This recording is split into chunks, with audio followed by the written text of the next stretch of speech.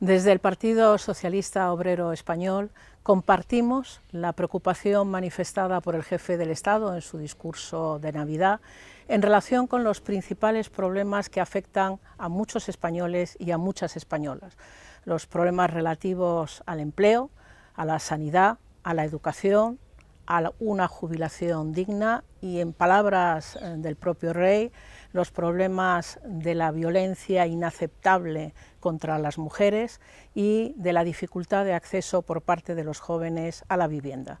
Todas estas cuestiones, de hecho, forman parte de nuestras prioridades en nuestro ideario político y están, por tanto, en la agenda de trabajo del actual Gobierno de coalición.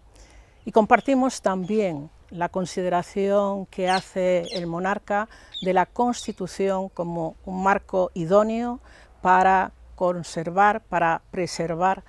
la convivencia en nuestro país y garantizar el progreso de España. Sin ninguna duda, la Carta Magna fue un éxito colectivo, fue la culminación de un esfuerzo que nos permitió entonces superar la gravísima división existente en España,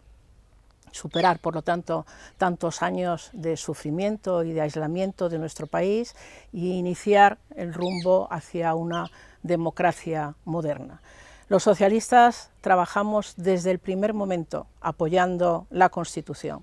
en su elaboración, en su aprobación y posteriormente en su aplicación.